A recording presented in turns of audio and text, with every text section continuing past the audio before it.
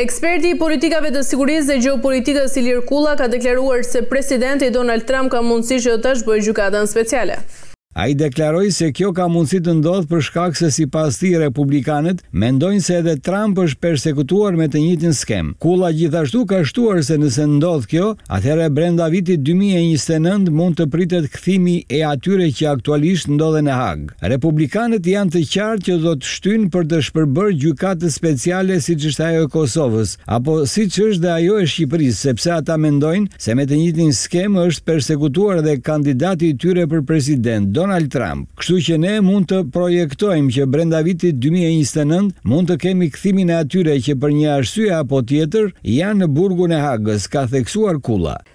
Kujtojmë se kandidati republikan Donald Trump të mërkurën u zgjodh presidenti i dyzet e shtatë i Shteteve të Bashkuara duke shënuar një rikthim të jashtëzakonshëm. Ai me një diferencë të madhe votash ka lënë prapa kandidaten e demokratëve, Kamala Harris, Donald Trump pritet të inaugurohet për një mandat të ri më njëzet janar të vitit dy mijë e njëzet e pesë.